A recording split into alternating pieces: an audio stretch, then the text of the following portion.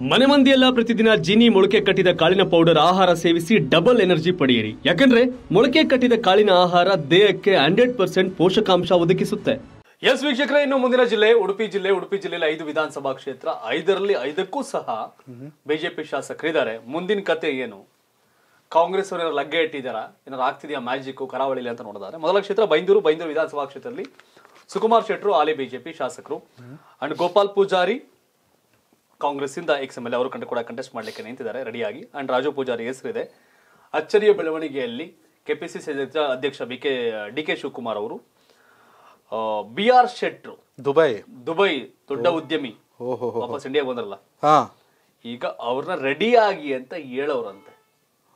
ಚುನಾವಣೆಗೆ ರೆಡಿ ಆಗಿ ಅಂತ. ಓಕೆ ನನಗೆ ಯಾಕೆ ಎಲ್ಲಾ ಕಡೆ ಡಿ ಕೆ ಶಿವಕುಮಾರ್ ರೆಡಿ ಆಗಿ ರೆಡಿ ಆಗಿ ಅಂದ್ರೆ ಕನಕಪುರ ರಾಮನಗರ ಬೆಂಗಳೂರಲ್ಲಿ ಬೇಕಾದಷ್ಟು ದುಡ್ಡು ಬೇಕು ಎಲ್ಲ ಕಡೆ ಚುನಾವಣೆಗೆ ಏನ್ ಕಬಿಟ್ಟವ್ರೆ ಅಂತ ಕಾಣ್ತದೆ? ಅಲ್ವಾ? ಕೋಟಿ ಹಣದಲ್ಲೇ ಚುನಾವಣೆ ಮಾಡಬಹುದು ಅಂತ ಕಾಣ್ತಾ ಇದೆ. ನಿಜ. ಸೊ ಓಕೆ ಅಂಡ್ ಇತ್ತ ಕಡೆ ಬಿಜೆಪಿಯಿಂದ ಸಿಟ್ಟಿಂಗ್ ಎಂ ಎಲ್ ಸುಕುಮಾರ್ ಶೆಟ್ರು ತುಂಬಾ ಚೆನ್ನಾಗಿ ಕೆಲಸ ಮಾಡಿದ್ದಾರೆ. ಆದ್ರೆ ಬಾಯಿ ಸರಿ ಇಲ್ಲ. ಸಿಕ್ ಸಿಕ್ಕದ್ ಮಾತಾಡ್ಬಿಟ್ಟು ಒಂದಷ್ಟು ನೆಗೆಟಿವ್ ಬಿಲ್ಡ್ ಮಾಡ್ಕೊಬಿಟ್ಟಿದ್ದಾರೆ. ಇದರ ಜೊತೆಗೆ ಈಗ ಬೇರೆ ಬೇರೆ ಹೆಸರು ಕೂಡ ಇದೆ. ಟಿ ಬಾಬು ಶೆಟ್ಟಿ ಗೋವಿಂದ್ ಪೂಜಾರಿ ಉದ್ಯಮಿ ಅವ್ರದ್ದು. ಅಂಡ್ ಕಿರಣ್ ಕೊಡ್ಗಿ ಹೆಸರು ಕೂಡ ಇಲ್ಲಿ ಕೇಳಿ ಬರ್ತಿದೆ ಡಾಕ್ಟರ್ ಅತುಲ್ ಕುಮಾರ್ ಹೆಸರು ಕೂಡ ಇಲ್ಲಿ ಕೇಳಿ ಬರ್ತಿದೆ ನೋಡ್ಬೇಕು. ಬಹುತೇಕ ಟಿಕೆಟ್ ಬೈಂದೂರಿನ ಬಿಜೆಪಿ ಟಿಕೆಟ್ ಚೇಂಜ್ ಆಗುತ್ತೆ. ಚೇಂಜ್ ಆಗುತ್ತೆ. Two hundred percent BJP ticket ಬೈಂದೂರಲ್ಲಿ change ಆಗುತ್ತೆ ಅಂತ ಇದೆ. Okay sitting M L Sukumar Shettar ಕೊಡಲ್ಲ. ಕೊಡಲ್ಲ ಅಂತ. ಕೊಡಲ್ಲ ಇದೆ. ನೋಡ್ಬೇಕು.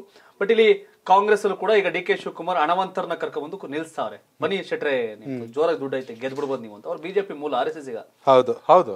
ಆರ್ ಎಸ್ ಎಸ್ನವರು ಸೊ ಈಗ ನೋಡ್ಬೇಕು ಏನಾಗುತ್ತೆ ಅಂತ. ಬಟ್ ಸದ್ಯಕ್ಕೆ ಕಾಂಗ್ರೆಸ್ ಹಾಗೂ BJP BJP sitting M L ಎಗೆ ನೆಗೆಟಿವ್ ಇರುವ ಕಾರಣ ಬಿಜೆಪಿ ಕ್ಯಾಂಡಿಡೇಟ್ ಅನೌನ್ಸ್ ಮಾಡ್ತಾ ಇಲ್ವಲ್ಲ ಏನು ಅಂತ ಹೇಳಿಲ್ವಲ್ಲ? ನಿಜ. ಟಿಕೆಟ್ ಚೇಂಜ್ ಮಾಡ್ಲೇಬೇಕು ಅನ್ನೋ ಪಟ್ಟಿದೆಯಲ್ಲ ಕಾಂಗ್ರೆಸ್ ಅಲ್ಲಿ ಗೋಪಾಲ್ ಪೂಜಾರ್ ಹತ್ರ ಹಣ ಇಲ್ಲ. ಹೌದು. ಎಕ್ಸ್ ಎಂ ಎಲ್ ಅಂತ ಚರ್ಚೆ ಬಟ್ ಆದ್ರೂ ಕಾಂಗ್ರೆಸ್ ಹಾಗೂ ಬಿಜೆಪಿ ಅಂದಾಗ ಬಿಜೆಪಿಯಲ್ಲಿ ಒಳಬೇಕು ಅಂದ್ರೆ ಬೇಡ ಸಿಟ್ಟಿಂಗ್ ಹೌದು. ಅಂತ ಹಿಂಗ್ ನಡೀತಾ ಇದೆ. ಆಡಳಿತ ವಿರೋಧಿ ಕಾಂಗ್ರೆಸ್ ಸ್ವಲ್ಪ ಮುನ್ನಡೆಯನ್ನ ಕಾಯ್ದುಕೊಂಡಿದೆ a ಹೌದು. ಬೈಂದೂರಲ್ಲಿ ಜನವರಿ ಜನವರಿ ಟ್ರೆಂಡ್ನಲ್ಲಿ ಕಾಂಗ್ರೆಸ್ ಬೈಂದೂರಲ್ಲಿ ಮುನ್ನಡೆಯನ್ನ ಕಾಯ್ದುಕೊಂಡಿದೆ ಮುಂದಿನ ಕ್ಷೇತ್ರ ಕುಂದಾಪುರ. ಕುಂದಾಪುರದಲ್ಲಿ ಹಾಲಾಡಿ ಶ್ರೀನಿವಾಸ ಶೆಟ್ರು ಎಂ ಎಲ್ ಎ ಅವರೇ ಬಿಜೆಪಿಯಿಂದ ಸ್ಟ್ರಾಂಗ್ ಆಸ್ಪಿರೆಂಟ್ ಅನ್ನೋದಕ್ಕಿಂತ ಅವರಿಗೆ ಟಿಕೆಟು ಮತ್ತೊಂದು ಕಡೆ ಕಾಂಗ್ರೆಸ್ನಲ್ಲಿ ಕಿಶನ್ ಹೆಗಡೆ ಹೆಸರಿದೆ ಪ್ರತಾಪ್ ಚಂದ್ರ ಶೆಟ್ಟಿ ಹೆಸರಿದೆ ಮತ್ತೊಂದು ಕಡೆ ಶ್ಯಾಮಲಾ ಭಂಡಾರಿ ಹೆಸರಿದೆ. ಹಾಗೆ ಇನ್ನೂ ಸಾಕಷ್ಟು ಜನ ಆಸ್ಪಿರೆಂಟ್ಗಳಿದ್ದಾರೆ ಕಾಂಗ್ರೆಸ್ಸಲ್ಲಿ. ಇದು ಹಾಲಾಡಿ ಶ್ರೀನಿವಾಸ್ ಶೆಟ್ಟರಿಗೆ ಪ್ಲಸ್ ಆಗುತ್ತೆ ಅನ್ನೋ ಚರ್ಚೆ ಕುಂದಾಪುರದಲ್ಲಿ. ಹಾಲಾಡಿ ಶ್ರೀನಿವಾಸ್ ಶೆಟ್ಟರೆ ಅವರೇ ಪ್ಲಸ್ ಸಾಕು ನಾನು ಅಂತ ಹೇಳಿ ಇಲ್ಲಿ ಕಿರಣ್ ಕೊಡ್ಗಿ ವಿಜಯ್ ಕೊಡ್ಗಿ ಅವ್ರ ಮಗ. ಕಿರಣ್ ಕೊಡ್ಗಿ ಹೆಸರು ಕೂಡ ಅಲ್ಲಿಗೂ ಕೇಳಬಹುದು ಬೈಂದೂರ್ಗೆ. ಅಂದ್ರೆ ನೀವೇ ನಿಂತ್ಕೊಳ್ಳಿ ಬಿಜೆಪಿ ಅವ್ರು ಹೇಳ್ತಾರೆ. ನೀವೇ ನಿಂತ್ಕೊಳ್ಳಿ ಕುಂದಾಪುರ. ಕಿರಣ್ ಕೊಡ್ಗಿಗೆ ಬೇಕಾದ್ರೆ ಬೈಂದೂರ್ ಟಿಕೆಟ್ ಕೂಡ ಗೆಲ್ಸ್ಕ ಬನ್ನಿ ಅಂತೇನೋ ಹಿಂಗೆ. ಹಾಗಾಗಿ ಓಕೆ. ಈ ಆಲಾಡಿ ಶ್ರೀನಿವಾಸ್ ಶೆಟ್ರು ಬ್ರದರ್ ಅವ್ರು ಅವ್ರ ಏನು ಅಂತಾರೆ? ನೀವು ಚೆನ್ನಾಗಿದ್ದಂಗೆ ಅವ್ರನ್ನ ಗೆಲ್ಸ್ಬೇಕು ಗೆಲ್ಸ್ಬೇಕು. ಅಂತ ಆಲಾಡಿ ಶ್ರೀನಿವಾಸ್ ಶೆಟ್ರು ಬ್ರದರ್ ಈಗಿಲ್ಲ. ಓಕೆ. ಹೇಳಿರುವ ಕಾರಣ. ಸೊ ಅವ್ರಿಗೇನೋ ಸಾಕು ನನಗೆ. ಅದ್ರ ನನ್ಗೆ ಬಹಳ ನನ್ನ ವೈಯಕ್ತಿಕವಾಗಿ ಅನ್ಸಿರೋದು ಇದು. ನಾನೇನು ಆಲಾಡಿ ಶ್ರೀನಿವಾಸ ಶೆಟ್ರು ನೆಂಟ ಅಲ್ಲ ಬಂಟ ಅಲ್ಲ. ಹೌದು. ಅಯ್ಯಪ್ಪ ಮಿನಿಸ್ಟರ್ ಮಾಡ್ಬೇಕಾಗಿತ್ತು. ಎರಡ್ ಸಾವಿರದ ಹದಿಮೂರರಲ್ಲಿ. ಮಿನಿಸ್ಟರ್ ಮಾಡ್ಬೇಕಾಗಿತ್ತು. ಎಂಟರಲ್ಲಿ ಟೈಮ್ ಬಂದು ಅವ್ರನ್ನ ಅವಮಾನ ಮಾಡಿದ್ರು ಗೋ ಶ್ರೀನಿವಾಸ್ ಪೂಜಾರಿ ಕೊಟ್ರು. ಅವತ್ತು ಮನುಷ್ಯ ಬಿಜೆಪಿ ಸೆಡ್ ಹೊಡೆದು ಹೌದು. ಇಂಡಿಪೆಂಡೆಂಟ್ ಆಗಿ ಕಂಟೆಸ್ಟ್ ಮಾಡಿ ಎರಡ್ ಸಾವಿರದ ಹದಿಮೂರರಲ್ಲಿ ಇಂಡಿಪೆಂಡೆಂಟ್ ಆಗಿ ಗೆದ್ರು. ಗೆದ್ರು. ಕಳೆದ ಒಂದು ಒಂದೂವರೆ ವರ್ಷದಿಂದ ಐದಾರು ಸ್ಥಾನ ಖಾಲಿ ಉಳಿಸ್ಕೊಂಡಿದ್ರಲ್ಲ ಬೊಮ್ಮಾಯಿ. ಕೊಡ್ಬೇಕಾಗಿತ್ತು ಕೊಡ್ಬೇಕಾಗಿತ್ತು. ಶೆಟ್ರು ಮಿನಿಸ್ಟರ್ಗಿರಿ ನಿಜ. ಮಿನಿಸ್ಟರ್ ಮಾಡ್ಬೇಕಾಗಿತ್ತು ಪಾಪ ಇವ್ರನ್ನ. ನಾನು ಆಲಾಡಿ ಶ್ರೀನಿವಾಸ್ ಶೆಟ್ರು ಅತ್ಯುತ್ತಮ ಸಚಿವ ಆಗ್ತಾರೆ ಅಂತಲ್ಲ ಇಲ್ಲಿರೋ ಇಪ್ಪತ್ತೇಳು ಜನ ಯಾವ ಉತ್ತಮರು ಅದ ಏನು ಅಂತ ಎಲ್ರಿಗೂ ಗೊತ್ತು. ಕೊಡ್ಬೇಕಾಗಿತ್ತು ಇವ್ರಿಗೆ. ದಮ್ಮಿದ್ರೆ ತಾಕತ್ತಿದ್ರೆ ಕಣಿತಾರೆ ಸಿದ್ದರಾಮಯ್ಯನ. ಹೌದು. ಈ ದಮ್ಮು ತಾಕತ್ನ ಕ್ಯಾಬಿನೆಟ್ ವಿಸ್ತರಣೆ ಮಾಡಿ ತೋರಿಸ್ಬೇಕಾಯ್ತು ಬೊಮ್ಮಾಯಿ. ನಿಜ. ಅಲಾಡಿ ಶ್ರೀನಿವಾಸ್ ಶೆಟ್ರು ಮಿನಿಸ್ಟರ್ ಆಗ್ಬೇಕು ಆಗ್ಬೇಕಿತ್ತು. ಆಗ್ಬೇಕಿತ್ತು. ಅಲ್ಲಿಗೆ ಅಲಾಡಿ ಶ್ರೀನಿವಾಸ ಶೆಟ್ರು ಸಾಕು ನನಗೆ ಅಂತ. ಕಿರಣ್ ಕೋಡ್ಗಿ ಅವ್ರನ್ನ ನಾನು ಎಂ ಎಲ್ ಎ ಮಾಡಬೇಕು ಅನ್ನೋ ಇದರಲ್ಲಿ. ಬಟ್ ಬಿಜೆಪಿ ಅವ್ರಲ್ಲ ನೀವೇ ನಿಂತ್ಕೊಳ್ಳಿ. ಕಿರಣ್ ಕೋಡ್ಗಿನ ಅಲ್ಲಿ ಬೈಂದೂರಿಂದ ಅಂತ ಹೇಳ್ತಾವ್ರಂತ ಅಂತ. ಇವ್ರು ಬೇಡ ಅಂತ. ಇನ್ನು ಕಾಂಗ್ರೆಸ್ ಇಂದ ಕಿಶನ್ ಹೆಗಡೆ ಸಾಂಸದ ಶೆಟ್ರು ಈಗ ಕೈಬಿಟ್ಟಿದ್ರು ಬಟ್ ಅಶೋಕ್ ಪೂಜಾರಿ ದಿನಕ ದಿನೇಶ್ ಶೆಟ್ಟಿ ಶ್ಯಾಮ್ಲಾ ಭಂಡಾರಿ ಹಿಂಗೆಲ್ಲ ಹೆಸರಿದೆ. ಕುಂದಾಪುರದಲ್ಲಿ ಸದ್ಯಕ್ಕೆ ಕಾಂಗ್ರೆಸ್ ಗೆದ್ದೇ ಗೆಲ್ತೀವಿ ಅಂತಿಲ್ಲ. ಕಾಂಗ್ರೆಸ್ ವರ್ಸಸ್ ಬಿಜೆಪಿ ಆಟನೇ. ಹೌದು. ಕಾಂಗ್ರೆಸ್ ವರ್ಸಸ್ ಆಲಾಡಿ ಶ್ರೀನಿವಾಸ್ ಶೆಟ್ರು. ಅಷ್ಟೇ. ಸೊ ಹಾಗಾಗಿ ಇಲ್ಲಿ ಕುಂದಾಪುರದಲ್ಲಿ ಬಿಜೆಪಿ ಮುನ್ನಡೆಯನ್ನ ಕಾಯ್ದುಕೊಂಡಿದೆ. ಬಟ್ ಆಲ್ರೆಡಿ ಶ್ರೀನಿವಾಸ್ ಶೆಟ್ರು ಅಂದಾಗ ಎಲ್ಲೂ ಕೂಡ ಯಾವ ದೊಡ್ಡ ಮಟ್ಟಕ್ಕೂ ಕೂಡ ನೆಗೆಟಿವ್ಸ್ ಇಲ್ಲ. ಹೌದು. ಸೊ ಬಿಜೆಪಿ ಮಾಡಿದಂಥ ದೊಡ್ಡ ಪ್ರಮಾದ ಅಂದ್ರೆ ಅವ್ರನ್ನ ಮಿನಿಸ್ಟರ್ ಮಾಡಲಿಲ್ಲ ಮನುಷ್ಯ ಪಕ್ಷಾತೀತವಾಗಿ ಪ್ರದೇಶ ಮೀರಿ ಯಾರ ರಾಜಕಾರಣ ತಿಳುವಳಿಕೆ ಇರೋರು ಯಾರೇ ಕರ್ನಾಟಕದಲ್ಲಿದ್ರು ಒಂದ್ಸರಿ ಯಪ್ಪ ಮಿನಿಸ್ಟರ್ ಮಾಡಬೇಕಾಗಿತ್ತು ಕಣ್ರಯ್ಯ ಬಿಜೆಪಿ ಅವರು. ನಿಜ. ಅಂತ ಹೇಳ್ತಾರೆ. ಅದನ್ನ ಮನ್ಸ್ ಮಾಡ್ರೆ ಬೈಂದೂರು ಗೆಲ್ಸ್ಕೊಬಿಡ್ಬೋದಾ? ಒಳ್ಳೇದ್ನ ಹೇಳಕ್ಕೆ ನನಗೆ ಯಾವುದೇ ಮುಜುಗರ ಇಲ್ಲ. ಒಳ್ಳೆಯವ್ರನ್ನ ಒಳ್ಳೆಯವರು ಅಂತ ಹೇಳಕ್ಕೆ ನನ್ಗೆ ಯಾವುದೇ ರೀತಿ ಅಡೆತಡೆಗಳಿಲ್ಲ. ಹೌದು. ಯಾರು ಯಾವ ಲೇಬಲ್ ಬೇಕಾದ್ರೂ ಹಂಚ ಅಟ ಅಂಟಿಸ್ಲಿ. ಇದೇ ಅಲಾಡಿ ಶ್ರೀನಿವಾಸ ಶೆಟ್ಟರು ಬಿಜೆಪಿಗೆ ಸೆಟ್ ಹೊಡೆದು ಗೆದ್ದಿದ್ರು. ಹೌದು. ಸೊ ಹಾಗಾಗಿ ನಾನು ನೆಂಟನೂ ಅಲ್ಲ ಅವ್ರಿಗೆ ಬಂಟನೂ ಅಲ್ಲ. ಬಟ್ ಶೆಟ್ರು ಮಿನಿಸ್ಟರ್ ಆಗ್ಬೇಕಾಗಿತ್ತು. ಇವ್ರಿಗೆ ಅಲಾಡಿ ಶ್ರೀನಿವಾಸ ಶೆಟ್ರು ನಾನು ಮತ್ತೊಂದು ಕ್ಷೇತ್ರ ಗೆಲ್ಸ್ಕತೀವಲ್ಲ ಬಟ್ ಏನೋ ಬಿಜೆಪಿ ಒಳಗೆ ಇರ್ಬೋದೇನೋ. ಅದೇನೆ. ಈಗ ಯಾಕೆ ಮತ್ತೆ ನಿಂತ್ಕೊಳ್ಳಿಂತಾರೋ ಇಲ್ಲ ಸೋತ್ಬಿಡ್ತೀವಿ ಅಂತಾನೋ? ಇಲ್ಲ ಕಿರಣ್ ಕೊಡಿ ಕೊಟ್ರೆ ಅವರೇ ಗೆಲ್ತಾರೆ ಅಂತ ಗೆಲ್ತಾರೆ.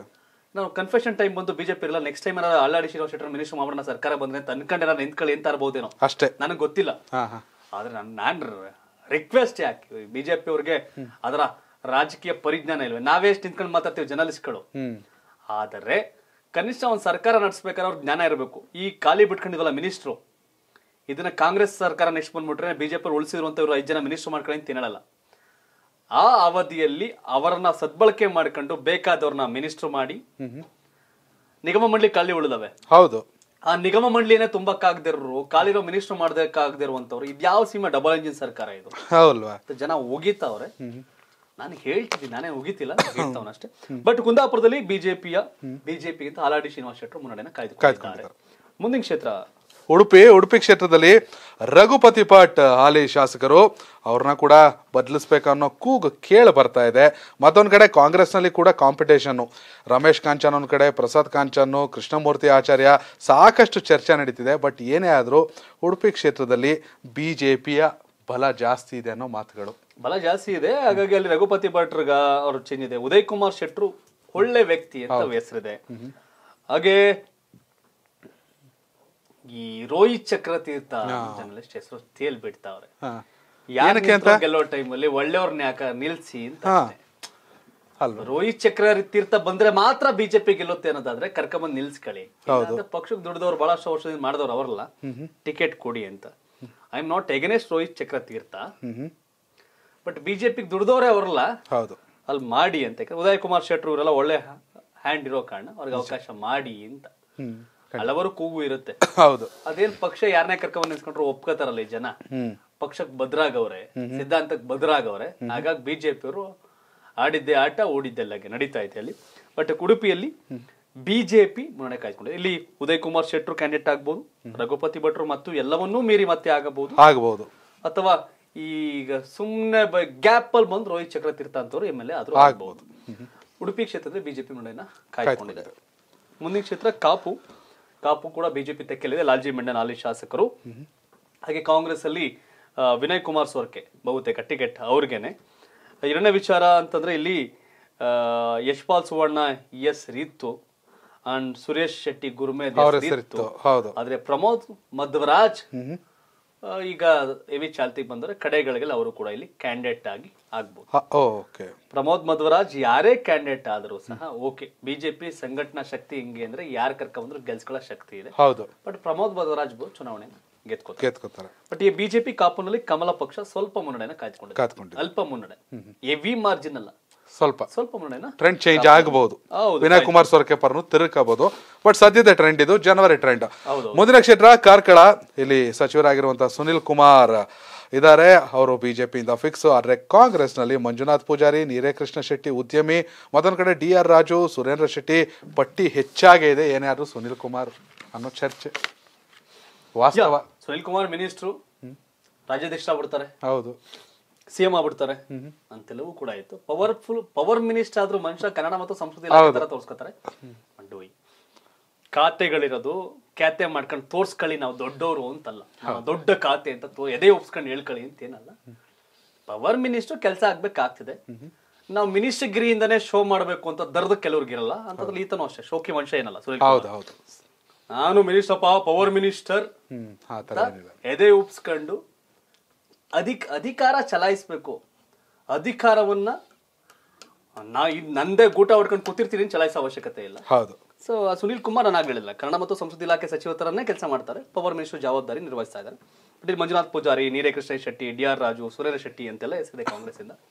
ಕಾಂಗ್ರೆಸ್ ಇನ್ನು ದೊಡ್ಡ ಹ್ಯಾಂಡ್ ಕರ್ಕೊಬತ್ತಾರೆ ಅಂತ ಕೂಡ ಚರ್ಚೆ ಇದೆ? ಕರ್ಕೊಂಬಂದಿಲ್ವಲ್ಲ ಡಿ ಕೆ ಇನ್ಯಾರು ದುಡ್ಡಿರೋ ಹುಡುಕ್ತಾರೋ ಗೊತ್ತಿಲ್ಲ ನನಗೆ. ಇಲ್ಲಿ ಸದ್ಯಕ್ಕೆ ಕಾರ್ಕಳದಲ್ಲಿ ಬಿಜೆಪಿ ಮನೆಯನ್ನು ಕಾಯ್ದುಕೊಂಡಿದೆ ಈ ಮೂಲಕ ಉಡುಪಿ ಜಿಲ್ಲೆಯ ಐದು ವಿಧಾನಸಭಾ ಕ್ಷೇತ್ರಗಳಲ್ಲಿ ಕುಂದಾಪುರ ಉಡುಪಿ ಕಾಪು ಹಾಗೂ ಕಾರ್ಕಳದಲ್ಲಿ ಬಿಜೆಪಿ ಮುನ್ನಡೆಯನ್ನು ಕಾಯ್ದುಕೊಂಡಿದೆ. ಬೈಂದೂರಲ್ಲಿ ಸೆಟ್ಟಿಂಗ್ ಎಂಎಲ್ಎ ಎಲ್ ಎ ಅತಿಯಾದ ಆಕ್ರೋಶ ಅದು ಕಾಂಗ್ರೆಸ್ಗೆ ತಕ್ಷಣಕ್ಕೆ ವರದಾನ ಆಗಿದೆ. ಬಿಜೆಪಿ ಟಿಕೆಟ್ ಚೇಂಜ್ ಮಾಡಿದ್ರೆ ಮಾಡಿದ್ರೆ. ಅಲ್ಲೂ ಅವ್ರ ಪರವಾಗಿ ಆಗಬಹುದು. ಸದ್ಯಕ್ಕೆ ಉಡುಪಿ ಜಿಲ್ಲೆಯ ಐದಲ್ಲಿ ನಾಲ್ಕು ಬಿಜೆಪಿ ಒಂದು ಕಾಂಗ್ರೆಸ್. ಕಾಂಗ್ರೆಸ್. ಇದು ಕರ್ನಾಟಕ ಟಿವಿ ಜನವರಿ ತಿಂಗಳು ಟ್ರೆಂಡ್